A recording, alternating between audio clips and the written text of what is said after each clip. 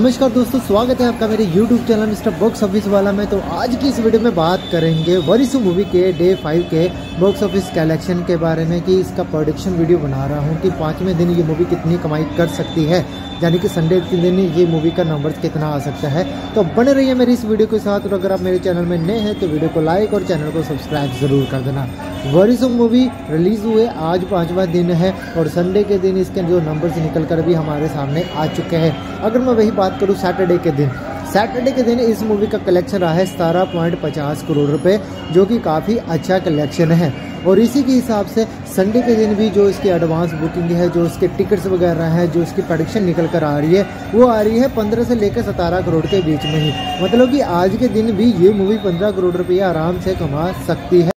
वही फ़िल्म के बजट की बात करूँ तो फ़िल्म का बजट भी 240 करोड़ के लगभग है और ये मूवी को हिट होने के लिए कम से कम भी 250 करोड़ तो कमाना ही पड़ेगा। बाकी दोस्तों, आपको क्या लगता है? ये अपना ओवरऑल बॉक्स ऑफ़िस कितना कमा सकती है? आप अपनी राय मुझे कमेंट करके ज़रूर बताना। और आपको क्या लगता है कि संडे के दिन पंद्रह करोड़ रुपया ये कमा सकती है?